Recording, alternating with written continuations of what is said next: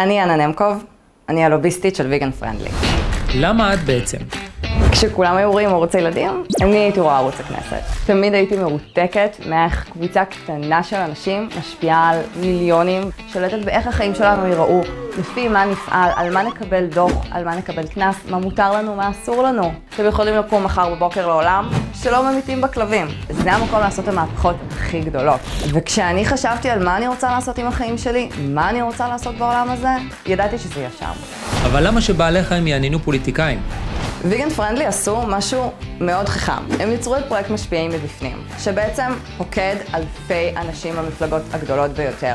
תוך זמן ממש קצר, פקדנו יותר מאלפיים איש. אני הייתי בכנסת, אני ראיתי איך פוקדים אנשים, זה לא קורה בכמויות כאלה בזמן כזה.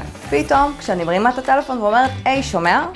יש לי כמה אלפים במפלגה שלך שיכולים להצביע לך, או יכולים להצביע למועמד השני. שואלים אותי מתי אני יכולה להיפגש, מתי, לאן הם יכולים להגיע, מה הם יכולים לעשות למען המתפקדים האלה. בפריימריז האחרונים לראשות מפלגת העבודה, שלושת המועמדים דיברו זכויות בעלי חיים. להעברת כל הסמכויות של משרד החקלאות למשרד להגנת הסביבה.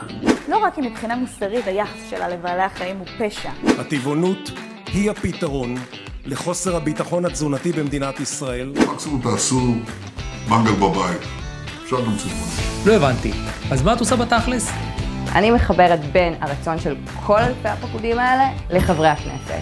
בין הטוסיק שלהם לכיסא. אני לוקחת את כל האנשים האלה שמתפקדים ומתרגמת את זה לכוח פוליטי. אני הולכת להיות בכנסת, לשבת בכל ועדה, לקחת כל חוק ולהעביר אותו את כל השלבים שהוא צריך לעבור. זה התפקיד שלי, לראות שזה קורה.